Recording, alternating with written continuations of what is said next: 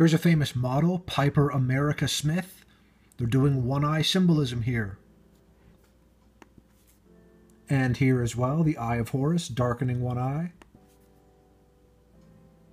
Might as well use a guitar to block one eye. They are doing the Freemason Hidden Hand.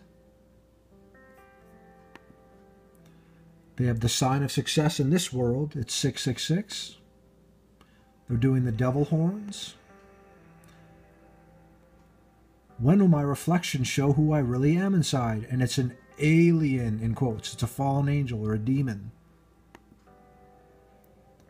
They're with their brother, brother who is also a model, and they're wearing the Freemason checkerboard.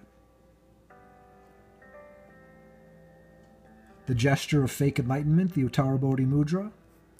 The gesture of fake enlightenment, the Uttara Bodhi Mudra. This is deception from Satan and the pride of humanity. Here's her brother, Lucky Blue Smith, wearing the Freemason checkerboard. Doing one eye symbolism, more one eye symbolism, more one eye symbolism, keeping the secret of the biblical world and about fame, fortune, and success, doing the gesture of fake enlightenment, the Uttara Bodhi Mudra, upside down pentagram in a circle. God bless you, everyone.